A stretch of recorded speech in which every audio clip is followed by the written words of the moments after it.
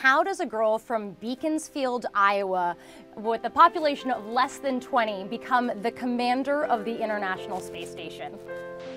I don't know. I think it's kind of a miracle, actually.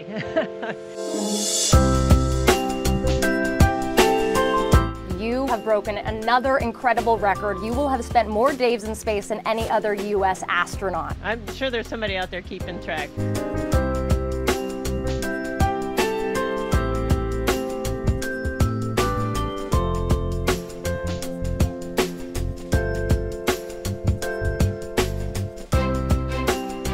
Think that our bodies and brains could actually handle a mission to Mars?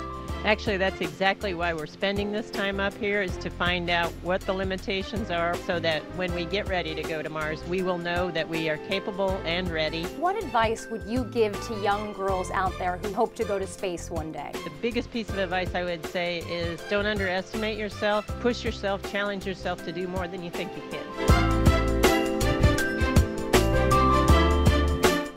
Enjoy it. It's going to be a blast. You're going to love every second of it. Be in zero gravity and move around uh, at will is just amazing. The late, great John Glenn last flew to space when he was 77 years old. Any indication if you'll be still flying to space when you're 77, Peggy?